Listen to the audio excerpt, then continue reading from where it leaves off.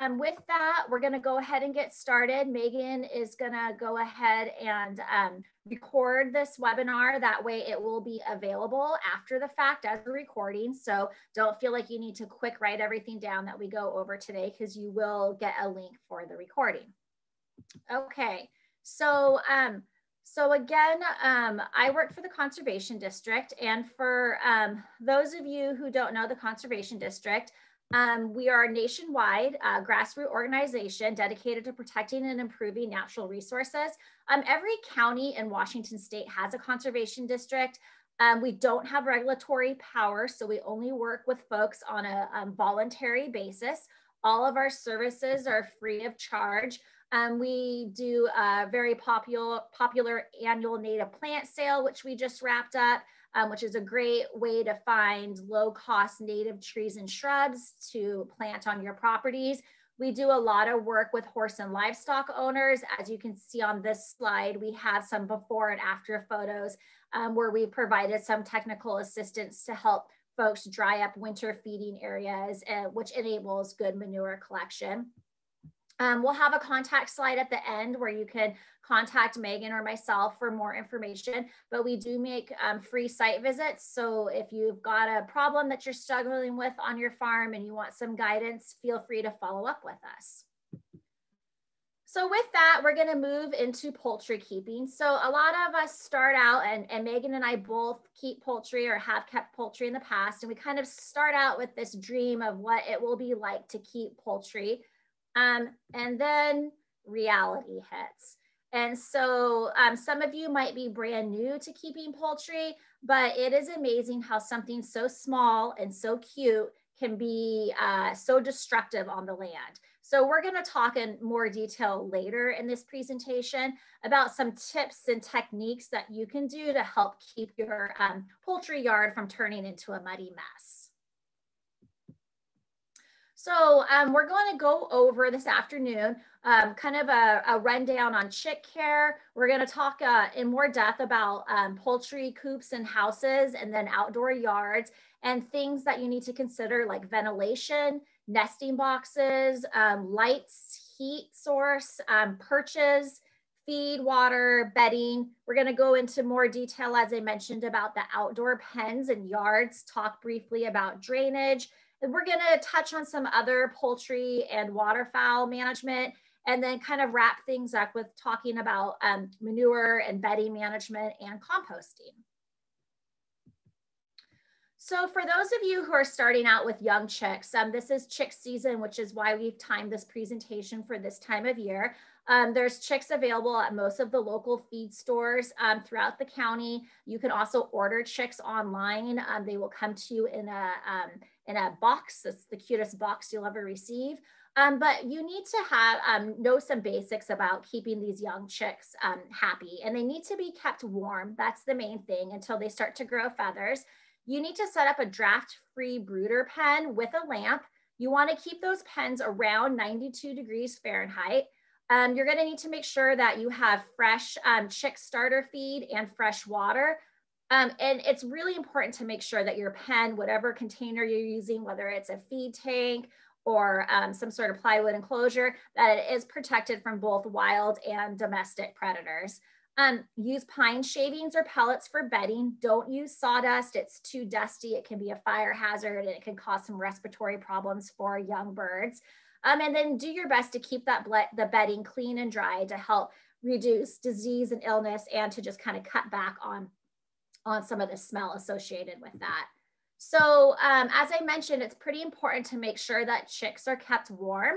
Um, they, um, this is kind of just a quick diagram that Prina did. We thought this was great. That kind of shows you the just right. So, you know, take a peek in there, watch these young chicks, make sure that they're not huddled in the middle, which would probably mean they're too cold or that they're kind of scattered to the sides, trying to stay away um, which would mean that they're too hot. So they should be happily moving about the tank. Um, and that if, if they look happy and they're eating and drinking, then you've got the temperature just right. Um, here's some options as far as um, pens that could work for brooders, um, kind of your classic stock tank setup. Um, and then a lot of folks, there's brooder pens that you can actually purchase at feed stores or handy or crafty folks can actually create um, a brooder pen.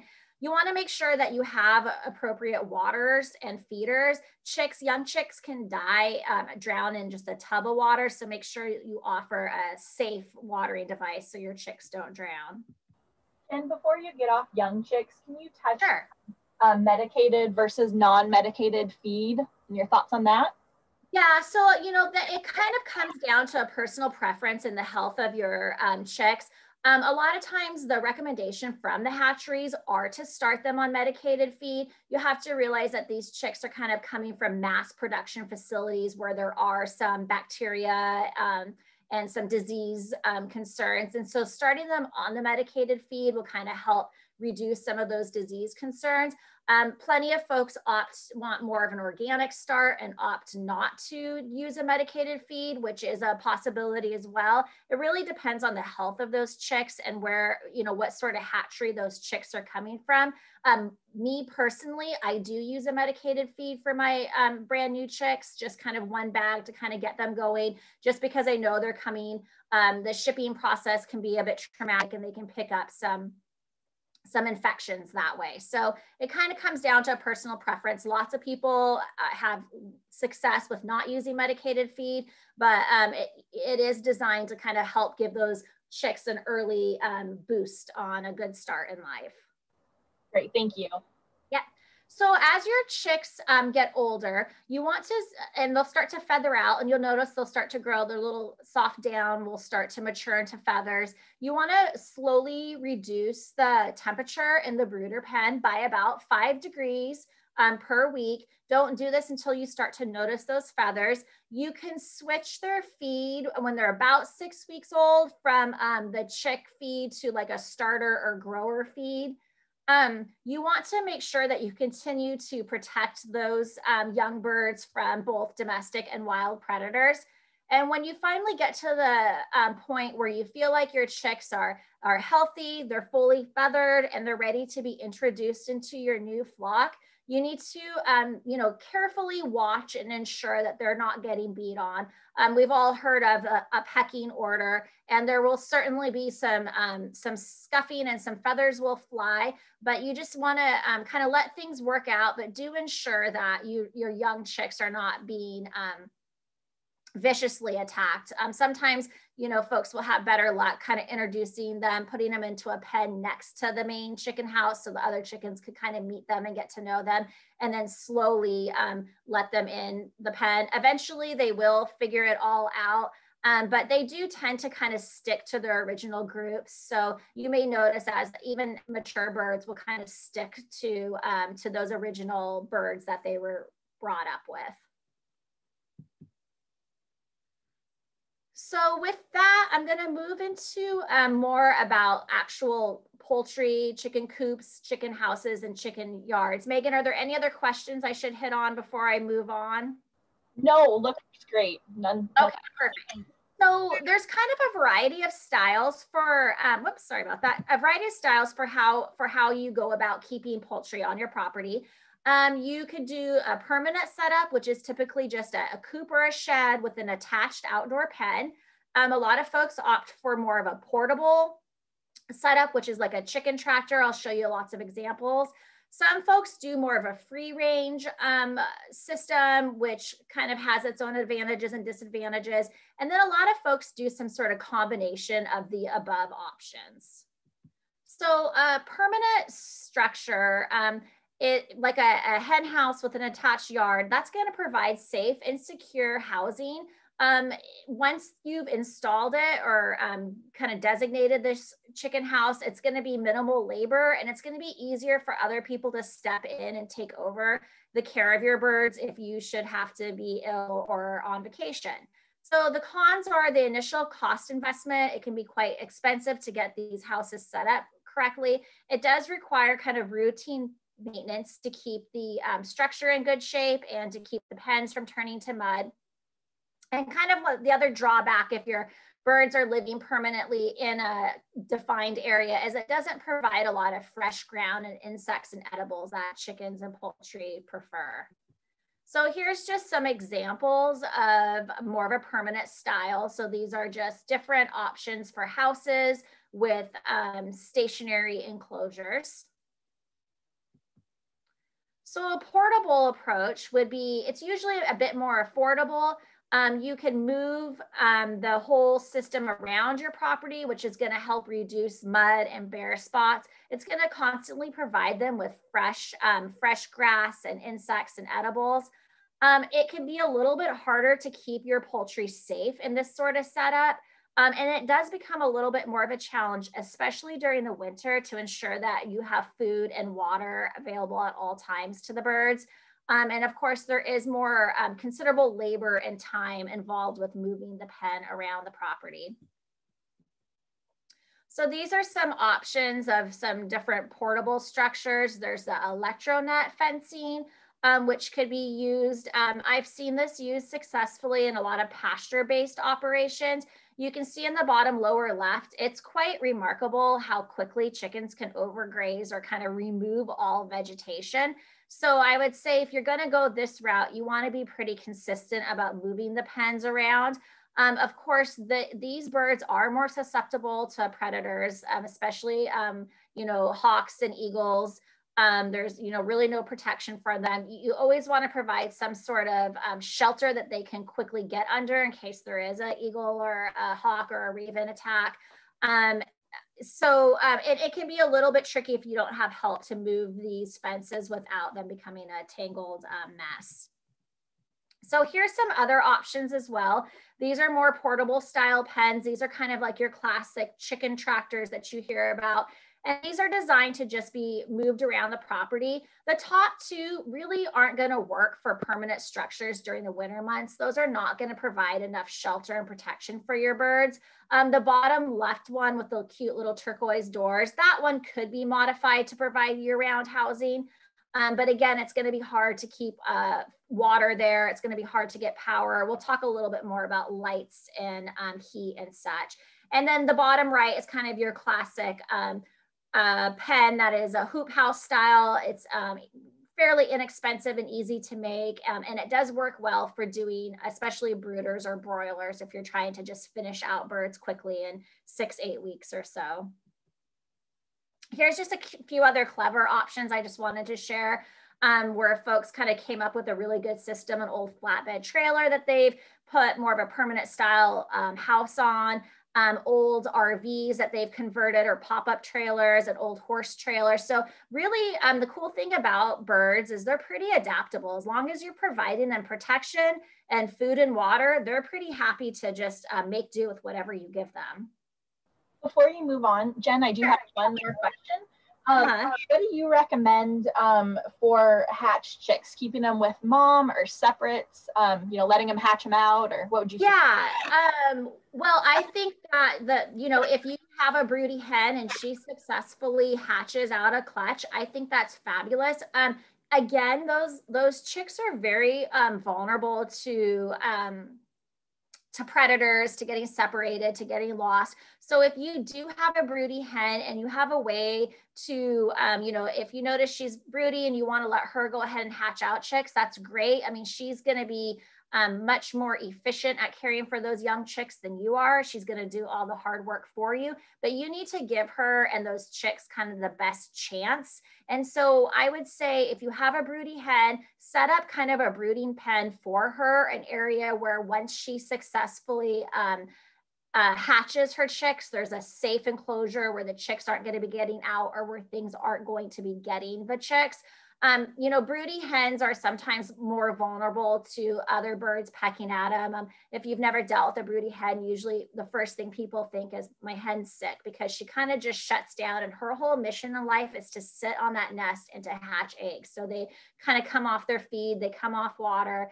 Um, so it is kind of important to try to keep that area quiet and kind of leave her be and let her do her thing. But then once she does um, hatch out, um, you know, a clutch of chicks, you know, the best bet to get the majority of those up to um, adulthood is to have them in some sort of enclosure where they won't be taken by cats and eagles and hawks. Okay, any other questions before I move on to ventilation? Nope, we're good to go. So these are great questions, by the way. Keep them coming. So the um, one thing that a lot of folks don't realize is that um, a good hen house or poultry enclosure has to have excellent ventilation. Um, poultry are constantly producing water vapor, ammonia, and heat. So you need to keep these coops ventilated um, day and night, even in the summer, even through the winter. A good rule of thumb is to ensure that you have one square foot of ventilation per 10 square feet of coop space. Um, in cold climates, make sure that the vents are located high above the roosting point, and then making sure that snow can't cover up the ventilation. If you don't have good ventilation, you can end up with birds that have a lot of respiratory problems because uh, there, we'll talk a little bit later in the presentation about the high nitrogen or ammonia content in their manure, and that can cause some real health issues if there's not good airflow and ventilation in a, in a hen house. So for those of you who are keeping poultry for egg production, um, there's a lot of variety out there too for nesting boxes. Um, I don't recommend using sawdust for the same reason as um, not keeping your chicks in sawdust. It, it, can be very dusty. It can cause some problems in their eyes and their um, in their respiratory system, and it's um, you know can kind of congregate on um, the heat sources, which can be a fire hazard. Um, you do want to bed those nesting boxes with like hay or straw or chips or shavings. Um, do try to keep the boxes clean as possible. So clean them out every so often. You do want to elevate them off the ground, but also ensure that there's some sort of ramp or a step or something that they can hop up to get into the nesting boxes. And these are just some pictures of some clever upcycled options for um, for nesting boxes. I've successfully used old dresser drawers or old dressers. I love the bucket idea. It's very easy to clean out. Um, so, so yeah, lots of options out there for ensuring that your hens have a nice nesting box. Uh, Jen, can you touch really quick on what you think should be the kind of maximum height or the minimum height to have nesting boxes off the ground? Yeah, I think that they say, I think a bird that it kind of depends on the variety um, of, of bird that you have, but they can routinely hop up like 12 inches. So I'd say if you have a nesting box that's like about a foot or a foot and a half off the ground, she should be able to fly or hop up there. Any higher than that, I would provide an access ramp or some sort of ledges so they can hop from ledge to ledge.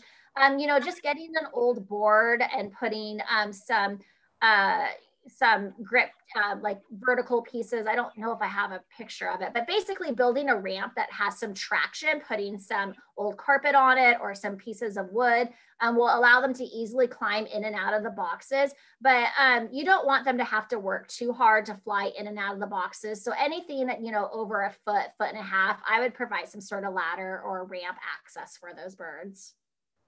Great, thank you. The person said that answered it perfectly. Thank you. Good, good. Okay, so um, I wanted to talk just a bit about um, light. So if you have laying hens, they need about 12 hours of daylight to continue laying throughout the year. Um, you can kind of artificially create that by installing light bulbs. Um, most people, you know, will, um, you know, there's kind of different options, fluorescent, incandescent, as far as what you want to use. Um, I do recommend you use a warm wavelength bulb, which appears more of the yellow or orange or reddish color. This is more of a natural lighting and helps just stimulate that hen's reproductive cycle. Um, you don't need to use a super high wattage bulb. Usually like 24 to 40 watt bulbs will be sufficient. You can also use LED lights. Those work great too. Um, there, there are glassless um, lights out there too that are great for um, use in poultry operations. You know, whatever you do as far as light, you just need to make sure you're protecting that um, bulb from the hens um, and that it's set on a timer. And so here's some just different options as far as um, controls out there. You can pick up these timers at any home improvement store. You don't you don't want to do a sudden change. You want to kind of slowly increase supplemental lighting over a time period, you know, increasing 30 to 60 minutes each week. So you want to try to mimic as much as possible a, a normal um, day cycle of a 12 hours of um, light and 12 hours of dark. Um, ideally, they seem to do the best if the lights come on in the morning um, rather than extending the night. Um, and you do, again, for safety reasons, want to ensure that the bulbs and the cords and the timers are basically protected from the birds and are not accumulating in excess of dust and hay and straw, which can be a fire danger.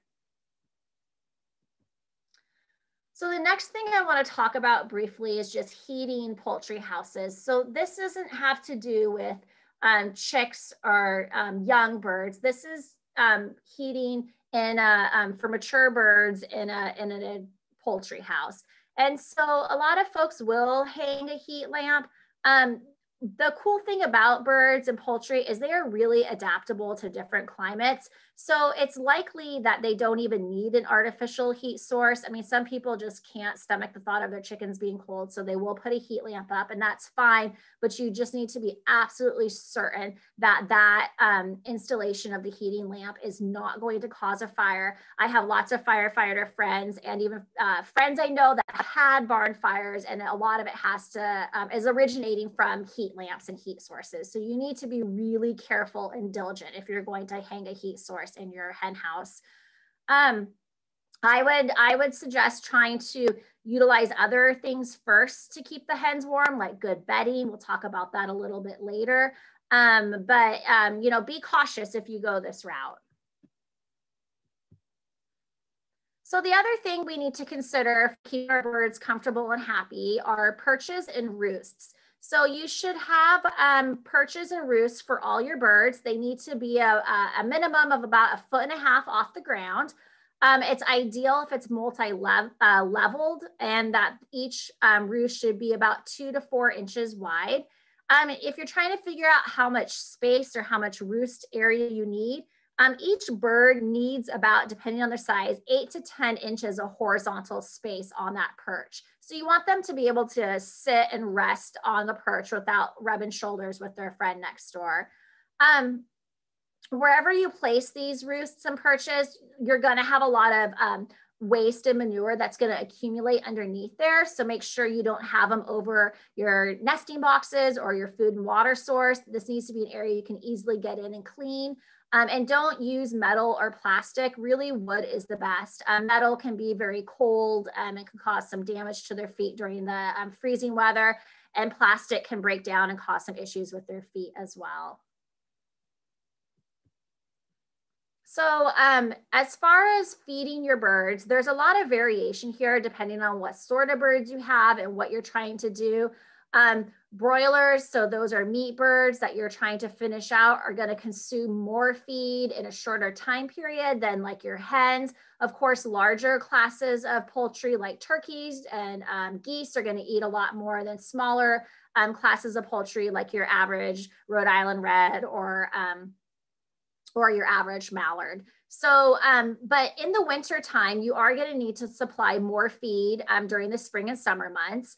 Um, they'll just need more food to keep themselves warm. Um, again, go to the feed store, chat with the folks that work there, kind of just explain what sort of poultry you have and what you're looking to do. There's a lot of feed formulations out there that are, um, you know, they've done all the hard work for you and formulated out the complete feed that your birds need for your designated pers- um, purpose. Um, I like to have just free choice feed available at all times. There's a couple of feeders over there on the right that show some different options. Um, you do need to provide scratch and grit, ideally on the ground. Um, and then the other thing that a lot of poultry owners deal with is rodent control. Because, of course, whenever you have a food and a water source, um, that's kind of an ideal habitat for rats. And rats do like eggs, just like the rest of us. So you need to be pretty diligent about trying to keep these areas clean and trying to situate the food and water in more of an open area where um, rats and rodents will feel um, more insecure about accessing those areas. So um, this is kind of a no brainer, but you need to make sure you're providing fresh access to water at all times for your birds. You cannot just um, rely on snow or ice to hydration. They need to have liquid water available. Um, during the winter months, there's a variety of options out there for heated bowls or heated mounts, which will help fountains, which will help um, reduce ice problems. And you wanna be pretty diligent about keeping your water sources clean. Your birds are gonna be a lot healthier and productive if they have clean, fresh water rather than old, mucky water that's growing stuff. Um, I have a lot of those founts that the bottom red kind of half bowl and those you hard pipe in um, they are fabulous. They're kind of an on-demand water system. Um, it's really easy to clean them out. You just kind of tip it to the side and swish it around and it cleans out. Um, so those are really um, great options for easy, clean, fresh water. Um, again, visit your local feed stores. Most of them will have all of these options available for you. So the next thing I want to talk about is the um, the bedding your hen house. So this is an interior. So sometimes it, in the bedding that would be in the floor of your coop or your shed. So um, there is a method out there that I've used pretty successfully, and I've seen it used kind of throughout the county called the deep litter um, method, which is where you're using a lot of material on the floor of the coop, at least six inches of dry material, so old hay or, or dry straw, and then what you want to do is you want to go through periodically, take your um, pitchfork or your manure fork and fluff that top layer of the straw. And what that will do is that will kind of drop the manure and the droppings below and bring up the dry, fresh material. So this is an alternative to um, completely scraping the house out on a regular basis. So um, I've done this pretty successfully and, and just, you know, made it through winter. Um, of course, if you have a lot of birds confined in a small house, um, this won't work as well for you. But if you have, you know, a kind of an adequately sized house and not a plethora of birds, this is a really nice option. Um, you want to routinely keep adding some um, hay or dried straw to that top area. And then the more you fluff it, the better this system works. Um, these birds will be a lot happier if they have a dry, clean um, bedding in their house. And your house is gonna, um, again, if it's well ventilated, is not gonna have that really stinky ammonia chicken house smell. Um, you will need to completely clean this, all the bedding out and the manure out each spring. Um, you can compost that. We'll talk more in the presentation about composting it or give it away. Um, but you do need to at least clean it completely out once a year. So the benefits of this is it's gonna help reduce odor. Um, it may actually help reduce flies. Um, it's gonna make the coop much more attractive. Um, if you can keep the hen's feet clean, your eggs are gonna stay a lot cleaner. Um, it gives the poultry kind of something to do. They'll dig around and fluff the bedding a little bit on their own as well. And it does save you a lot of work because you're not out there tossing all the bedding um, every week in your hen house. So with that, I want to kind of move and talk a little bit about outdoor um, coops and yards. And so um, I showed you that picture in the beginning of the presentation about how chickens can really be quite destructive and they can strip vegetation out of an area in no time at all. And so as soon as you get down to bare ground and then you add the rain that we get during our um, winter and spring months, um, you know, you kind of have the recipe there for a mud pit. And so if your birds are really messy, um, again, you know, her feet are covered with mud. She comes in, she covers the eggs in mud. Um, it lowers their body temperature to have them out in this kind of mucky footing, which is going to make them more susceptible to um, infections, respiratory problems, and foot disease. And then also these um, areas, if they're situated near a stream or a wetland or your own um, well, it can run off from these pens um, does have a lot of bacteria and nutrients like um, nitrogen, which can be um, pollution factors for nearby waterways and for your own drinking water. So these are all good reasons to try to tackle these muddy chicken pens. So the first thing you want to think about um, is drainage. And if you're kind of dealing with an existing, um, you know, hen house and you can't really move it, you kind of are working with what you have, first thing you want to do is the next time we have a big rainstorm, go out and take a look. Is there water running down a hill towards your hen house and your yard? And if so, um, use some sort of drainage to divert that clean water away from your poultry house and your chicken pen. So that's kind of your first step is just get out there, pay attention to what's happening when it's raining and try to get any excess water from heading that direction if you do. Um, just kind of that bottom picture is just an example of a um, curtain drain. A lot of times you, um, when you're putting in a, a, a, structure, they'll excavate down. So then there's a slope. And then during kind of storm events or in the winter when our groundwater is rather high, we'll have uh, water running into these low areas. So you wanna try to divert that water away from your um, from your hen house and your coop and your yard. And, you know, if you can divert it just to a grassy, unused area of, of your property, that's ideal. Um, the other thing you want to take a look at is your house and if there's any, or your hen house, and if there's any roof runoff coming off of it. Even though these sheds and poultry houses are usually pretty small, um, just one inch of rain falling on a thousand square foot roof will produce 625 gallons of water. So think about where your farm or your property is situated and how many inches of rain that you're getting kind of over the winter months. And that's quite a bit of water that could be just shedding off of the roof.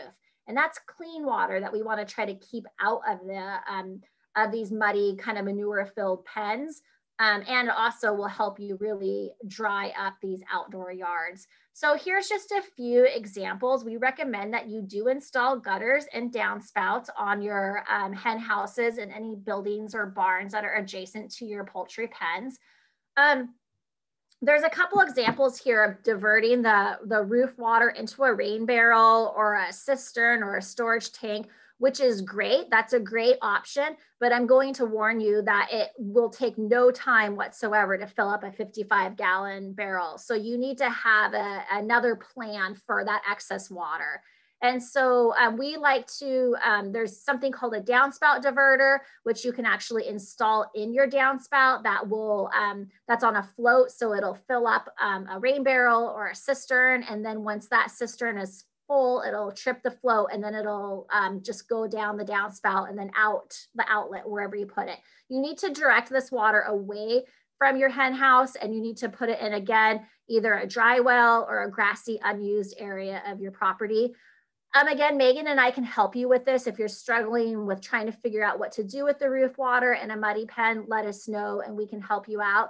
Um, it is safe to use the water off of a metal roof for gardening um, or for watering the chickens, but we don't recommend that you collect water that will be used um, if you have a composite roof. So um, there are some issues um, with the material that they use to make the composite roof. So if you have a metal roof, you should be fine. If it's a composite roof, I would not use it for watering of animals or your garden. So to talk a bit more about reducing the mud in these poultry pens, you really have to plan to cover that bare native soil. As I mentioned, the chickens are gonna strip everything down out there. And so you're gonna have to come up with an option for covering that back up if you want to get rid of the mud. So um, there's a bunch of different options, footing options or base options. You could use crushed rock um, or hog fuel, which is large chipped wood shavings, straw, sand, and grass, but obviously grass is not gonna work for a permanent pen because they will eat it all in a matter of weeks. So if you have a pen that you're really struggling with a lot of mud issues, perhaps you've got poorly drained soils or it's a low lying area, um, we're gonna recommend that you actually um, use a gravel base in a pen like this. Um, and this is kind of the same technique as building like a hardened driveway. And the idea is you're gonna put in this hard base that's gonna raise the chickens up above the, um, the native soil, which is gonna get them kind of out of that muck and that mud. And then you're gonna um, have this hardened surface that you can then clean and keep your birds on that will be mud free. Um, so that's one option. That's kind of the Cadillac option to go the gravel pad route. Um, a lot of pens can you can get away with just using something like hog fuel or large size wood chips. And the real um, kind of the advantages of this is that um, it can be long lasting. Um, you can kind of build up these pens to get your chickens up above the uh, wet, mucky, bare ground. and it tends to be fairly affordable. Um, you have to use a lot of material. So two to three times as much of the chips, so inches of chips as you have mud. I would plan on putting down, it sounds like a lot, but it'll kind of pack down. I would put at least a foot down to start with. Um, the cons is that you're going to need to scrape it out every so often. That that it is a wood product, so it's organic, so it is going to um, decompose over time. Um, you know, it really depends on how big the area is and how many chickens you have in it. But I would for sure plan on having to at least scrape out a couple inches of the top inches and putting in a couple um, inches of fresh material each year.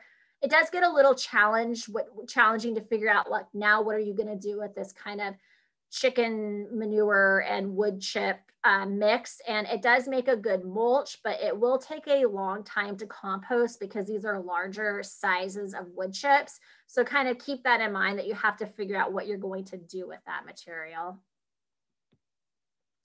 Another option for these outdoor pens are shavings. Um, again the nice kind of um, thing about wood product is it binds up that nitrogen smell, which is going to help reduce kind of that odor in these outdoor pens. Um, the shavings will compost quicker than hog fuel, but then kind of the drawbacks are um, you, you need a lot of shavings to, to kind of cover up that bare ground. Uh, it can get kind of pricey. Um, and it, you know, it cut, it will blow away. It doesn't really hold up super well in like super wet pens. If you've got a lot of moisture already in your pen, um, shavings might not be your best bet. Here's just a couple examples. The hens and birds do seem to like the shavings. They'll, they, you know, will scratch and dig at them and stuff. And so it does make a good option, but um, I would say not for a pen that is really struggling with a lot of mud issues. So another option is uh, for a base is like a straw or hay base. And so again, it's inexpensive, it's fairly easy to spread out. It can help with reducer, um, reducing odor as well. And it does compost fairly easy. It's a smaller, lighter product, so it's gonna finish out and compost quicker. Um, again, probably not ideal for a really muddy pen or for an area where you're receiving significant rainfall. Um, it works good for like part of the year. It may still get muddy kind of in the dead of the winter. Another option is sand. Again, this is more of a permanent footing. Um, the chicken, the chickens and poultry do like it for dusting, especially in the summer months where they're trying to get rid of bugs and they're hot. Um, it's a good option again for drained, um, for well-drained soil. And so um, but you do need to put down, you know, several inches of it if you want to actually have it control mud. Um, you will have to clean this material out on a pretty regular basis because you're going to have manure that kind of builds up in the sand. You're going to need to scrape out again the top couple um, inches. And it doesn't do a very good job with um, odor control as well. And depending on, um, you know, what's out there, it can be a little bit of uh, expensive as well. A quick question, Jen. Um, are there any wood products that uh, you think shouldn't be used, such as cedar? Do you think cedar is okay to use? Um, you know, that's a good question. I think that cedar is okay to use. Um, I have heard that there, you know, some birds are more susceptible to different wood products. And I will say that depending on what you get for hog fuel, um, you know, you need to be, if, if you order hog fuel, sometimes it's chipped building materials, which is not ideal because then you're going to have a lot of um, potential like nails and hardware and maybe some other products that are not safe. Um, I, I don't know that off the top of my head. I, I want to say that um, there are some birds that are more susceptible um, to different wood products. So I could look up the cedar to see if that's a problem for birds um, or not. But yeah, I don't know that off the top of my head. Okay, thank you. I'll try to look up an answer. Okay, yeah, thank you. I was just trying to remember. My, one of my kids were telling me that there's one wood product, and I don't remember what they said that was less than ideal because some birds can have a reaction to it. Gotcha, gotcha. Yeah. Um. So, um, so if you go the option of not wanting um to have um uh kind of the the permanent yards, then you can um, go ahead and, and use more of a um, rotational grazing. And so these are kind of the options. I talked a bit about this earlier. Um, it does provide um, fresh greens and such, but um, it is a problem as far as trying to keep the birds safe. So I wanted to chat just a bit about um, turkeys. I know there's a lot of folks throughout the county that do keep turkeys. You should not keep turkeys and chickens together um, because of a disease that can be passed between the birds called the blackhead disease. So ideally you would have a separate pens and houses. That being said, I've talked to a lot of farmers over the years that have said, I've always kept my chickens and turkeys together, it's never been a problem. Um, but I have heard stories where it has been a problem. So our general recommendation is that they are kept separately. Um, turkeys, again, are pretty hardy like chickens, depending on the breed. Um, they can handle cold weather once they reach uh, maturity. A lot of the heritage breeds um, will typically do better, um, you know, in more of an outdoor setting. Some of the meat birds are a little bit harder to keep. They just need um, easy access to food and water and shelter. Um, you do need to offer roosts for your turkeys, just like your um, chickens. Um, like two by fours work really well. Um, again, you want to provide enough space to ensure that they have room to cover their feet um, so they're not getting frostbite during the winter months. And if you add corn to their diet, at least during the winter, that will help keep them warm. So for those of you who keep waterfowl, they kind of come with their own requirements. Um, again, they need a secure predator-proof house. And just like um, chickens, they need to have good ventilation. Um, they don't roost at night, so they do need extra bedding in their house um, to keep their feet warm and keep them from getting frostbite during the winter months. Straw is great to put into their houses. Um, they need to constantly have access to fresh water at all times. So during the winter, make sure that their water source is thought out. Um, most ducks and waterfowl rely on water for when they're feeding, for how they process their food. Um, because they're messy, just naturally, they're, they're obviously water loving creatures. Um, you know, they are notorious for making big messes. So um, using stall mats, um, kind of under their watering areas, or if you do like kiddie pools or something for them during um, the summer months, you know, putting that on a gravel pad is, is ideal. So you're getting some drainage below that area. Um, they do not require swimming during the um, winter months, but it is ideal to provide them with some sort of water for swimming during the um, during the warm months. So with that, I'm going to go ahead and move to um, manure management. Megan, were there any other questions before I move on? Yeah, and this actually ties in. Um, this is a direct message, but I think it's an important one for everyone to hear the answer to. And it ties in, I think, with manure very well. Um, the question was, would you put the shavings that you cleaned out from the inside of your coop um, into the outside? Um, and so I think this ties in well with, you know, the manure factor of that. So do you want to touch on that? Yeah.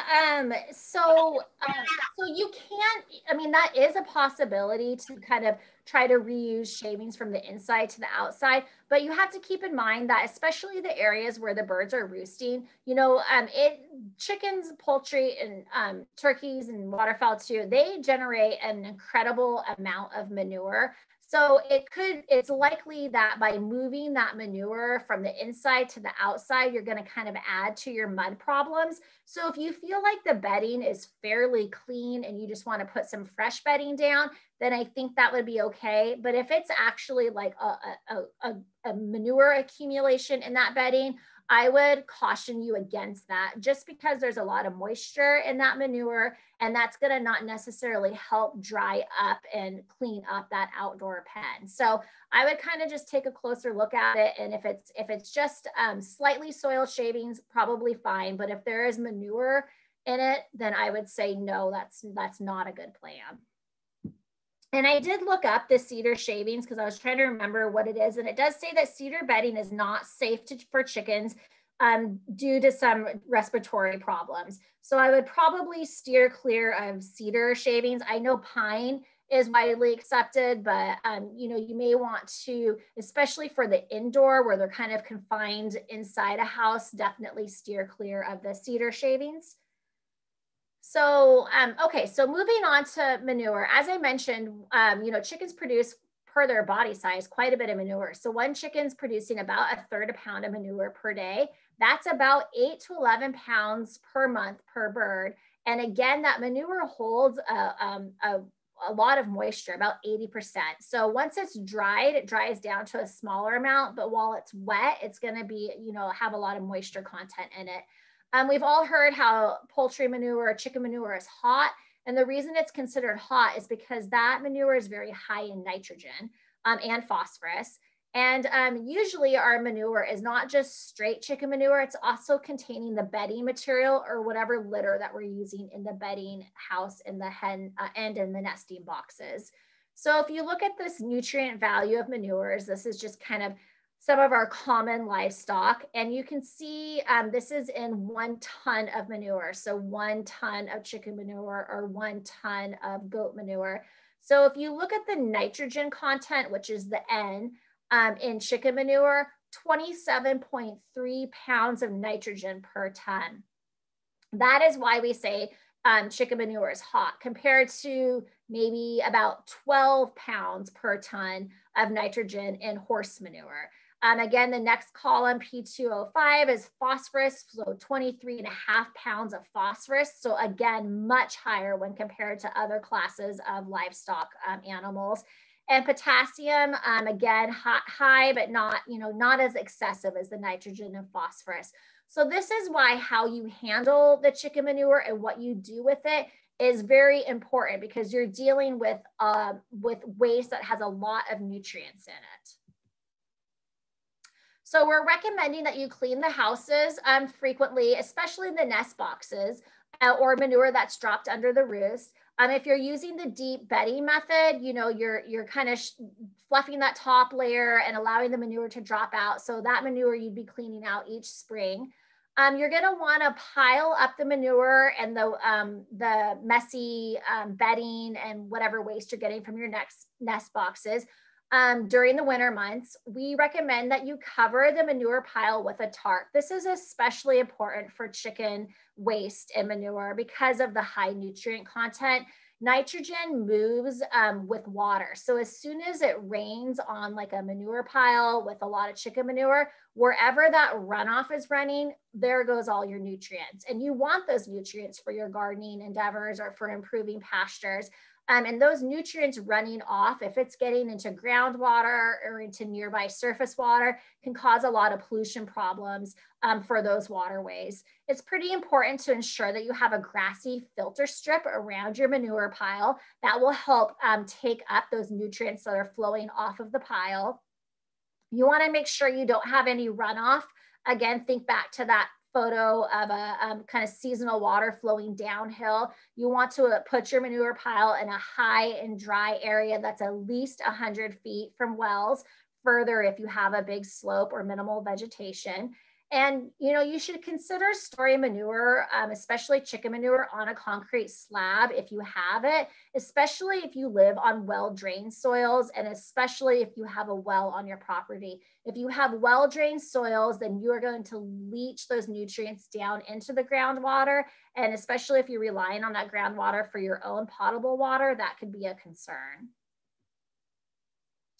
So we do recommend that you compost um, poultry manure before using it.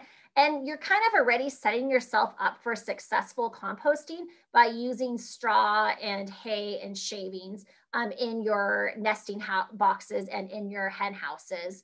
Um, you want to ensure that the composting process is complete before using this. And we'll talk a little bit more in the next couple slides about composting, but it's pretty important to ensure that you go through that entire composting process, especially if you're feeding your chickens um, table scraps and, and uh, meat scraps.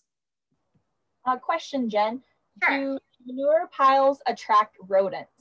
Yes, manure piles can attract rodents if there is if there's wasted feed in that pile. Sometimes you'll end up with problems with rats and mice coming into that pile, scratching around, digging around for corn and other wasted chicken feed. So try to do a good job of keeping your feed, um, keeping your poultry feed from kind of mixing in with that manure and wasting a lot of feed because that can be an attractant for rodents.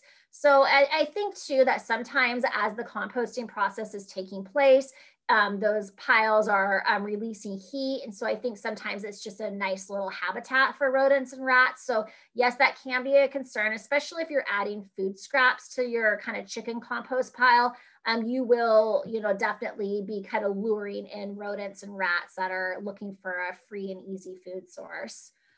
Um, things to do to discourage that. Again some of the you know trapping um, sometimes just where you're placing the pile can make a difference. If there's you know like a vegetated area or some trees or something where rat, rats and rodents don't like to be out in the open and exposed. So if they have to travel across kind of an exposed area they typically won't take that risk. So trying to just reduce the habitat around both your hen houses and your compost pile will hopefully help discourage them from kind of taking that risk of running across an open area to get to some food. Um, so composting basics. Um, so um, compost is just kind of like taking care of chickens. They're little microorganisms, microorganisms that live in the manure that need things just like your pets need. They need oxygen, um, moisture, they need food. Um, and so um, carbon and nitrogen. And this is where we talk about a carbon to nitrogen ratio. The correct carbon to nitrogen ratio is 30 parts of carbon per one part nitrogen. So again, think about the fact that this has a, a high level of nitrogen in it. So you're going to need to add a lot of dry material. And so your dry material is old hay, is straw, is shavings, and you're going to need to, you know, make sure that your pile has a good carbon source in it in order to kind of get this ratio correct. If you if you're wondering, do I have it correct? Well, if you stick a shovel in there and kind of wiggle it around and you see, you know, smoke kind of billowing out and you you it feels hot in the interior part of the pile, then you are doing it correct. So if composting is happening, the pile will heat up, it will cook down in size you will get temperatures of 120 to 160 degrees Fahrenheit in that pile, which will help kill any parasites or fly eggs or weed seeds that happen to be in there. It takes about six to eight weeks during kind of the spring and summer months to finish compost. A lot of this depends on your willingness to go out there and manage your compost pile. The more often you can turn it, um, the quicker it will finish out. Sometimes just even inserting PVC pipes that have drilled holes in it to help facilitate airflow, that will really help too. And you also want to ensure that this pile is not getting either too dry during the summer months or too wet during the rainy season. You want the material about as wet as a wrung out sponge. So again, in order to achieve this, it's really helpful to cover it with a tarp that will help keep it from getting too dry in the summer months. You probably will need to actually add a bit of water in the summer months. And then also it'll help keep your pile from getting too wet during the winter months. If it gets too wet, it goes anaerobic, it starts to smell really bad and it won't actually compost. So um, benefits of composting, it's going to reduce the overall volume that you're dealing with by about half. It's going to kill those parasites um, and weed seeds, reduce odor, and it's going to make more of a stable, slow release product that you can then safely use in your gardens and on your fruit trees, on your pastures, or on your, on your lawn. Here's just some options. Um, you know, this is kind of large scale and small backyard scale for composting. Um, you know, it doesn't need to be fancy. You can see the wood pallet bins down there. Basically just a designated space where you can kind of be loading um, the fresh manure and waste you're pulling out of the poultry house while you're kind of finishing the compost and then a bin for, you know, compost that's finished and ready to get used out on the garden. Again, keeping it covered is really the key um, in managing this uh, chicken manure and chicken waste. So with that, um, again, I mentioned at the beginning that um, we're available to help make site visits. So, you know, please contact us. You, we have a lot of information on our website. There will be a recording of this available after the fact. And um, with that, I know that was a lot of information quickly, but with that, we have, um, you know, five or so minutes that we can take some questions if there's questions that I did not get to. Yes, we did have one.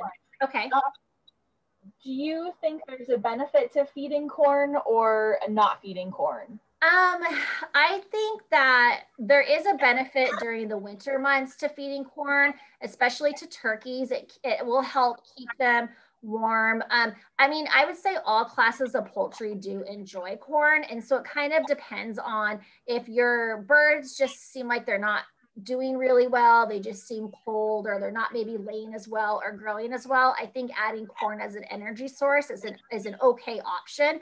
Um, I do think a lot of the um, formulated feeds specific for like broilers, if you're trying to finish meat birds or for laying hens, those are complete feeds that should have everything the bird needs really to survive and thrive.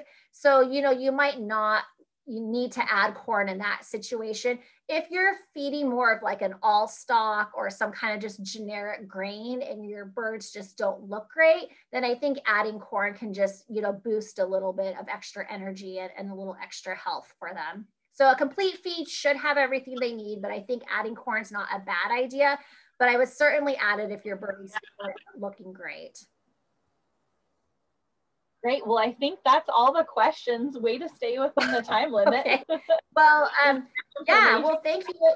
And then if anybody has questions after the fact, you know, feel free. You'll you'll be you should have got an email from me with this um, meeting link. So feel free to respond to that, and I can try to get you um, answers to your questions as well. And yeah, thanks for carving a little bit of time out this afternoon to spend with us. And good luck to all your poultry keeping endeavors. Thanks, everybody. Bye bye.